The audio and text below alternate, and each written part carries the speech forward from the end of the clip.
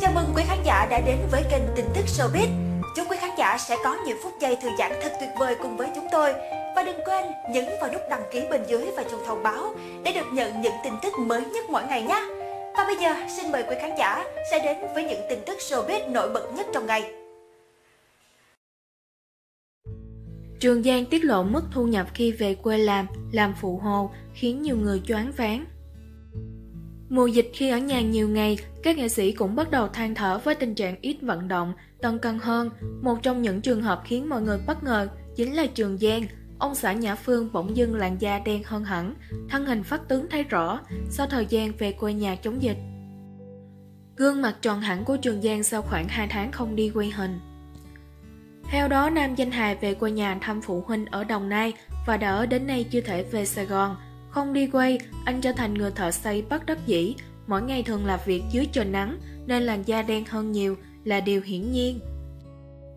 Ông xã Nhã Phương cho hay, hãy nhìn làn da tôi đi, nó đem sẵn hẳn vì cả tháng qua phải đi làm phụ hồ.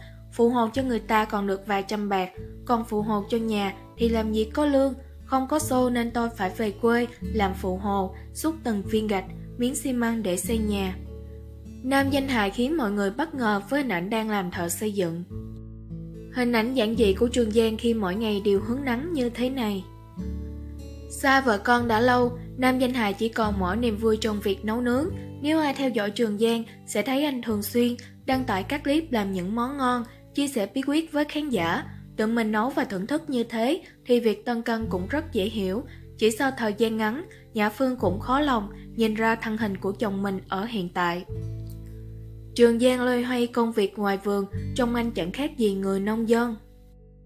Càng xem clip của Mười Khó, công chúng sẽ càng trầm trồ hơn về tài đứng bếp từ nam danh hài. Không cần phải các nguyên liệu đất đỏ, đồ dùng hạng sang, Trường Giang chế biến nhiều món ngon trong gian bếp rất đơn giản, vật dụng bình dân.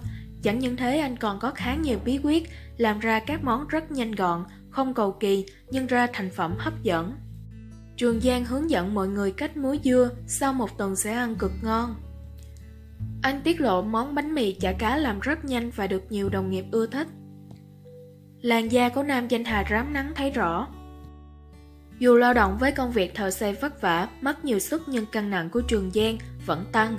Bởi lẽ anh thưởng thức nhiều món nhà làm như thế thì khó có thể kiểm soát được việc mình đang ngày phát tướng. Gần 2 tháng qua, Nhã Phương cũng thiếu hẳn đầu bếp xịn khi chồng về quê nhà. Anh cho biết, tôi về quê có một mình thôi, còn con tôi và vợ tôi vẫn cách ly ở Sài Gòn, đóng cửa nội bất xuất ngoại bất nhập, không cho ai ra vào hết. Anh hào hứng với món bún mắm niêm, đặc sản của người miền Trung. Sau thời gian này, chắc chắn ông xã nữ diễn viên cũng vất vả trong việc giảm cân.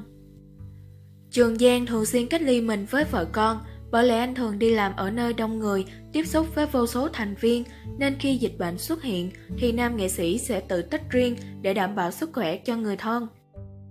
Dù đang ở quê nhà nhưng mì khó thường xuyên cập nhật tình hình dịch bệnh, vẫn quay hình online để phục vụ nhu cầu giải trí cho khán giả mùa dịch.